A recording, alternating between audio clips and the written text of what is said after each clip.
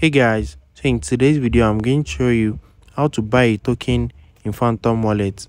So the first thing is open up the app and you need to click on buy right here. Once you click on it you can now search for the token that you want to buy. After that select it. Once you select the token enter the amount that you want to buy in dollar. So if you want to enter the amount in the token just click on this switch icon. So you can now enter it let me just make use of $100 after that click on credit and debit card right here. Once you click on it click on credit and debit card and you need to select all this any of these options you can use apple pay you can use your credit card or your debit card and if there's another method that you can use you're going to see them right here. So let's go let's go with credit and debit card.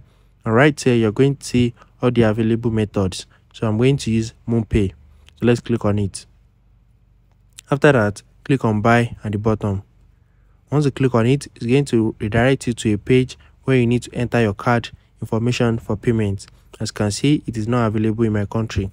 Just enter your card information and the coin will be added to your account once you pay for it.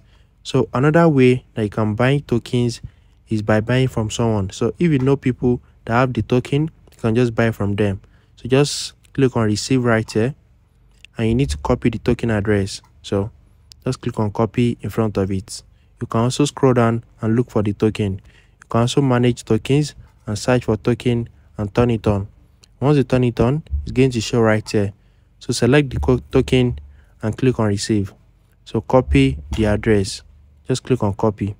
Once you copy it send it to the person and they are going to send the token to you and you're going to pay for it. So if you found this video helpful smash the like button and subscribe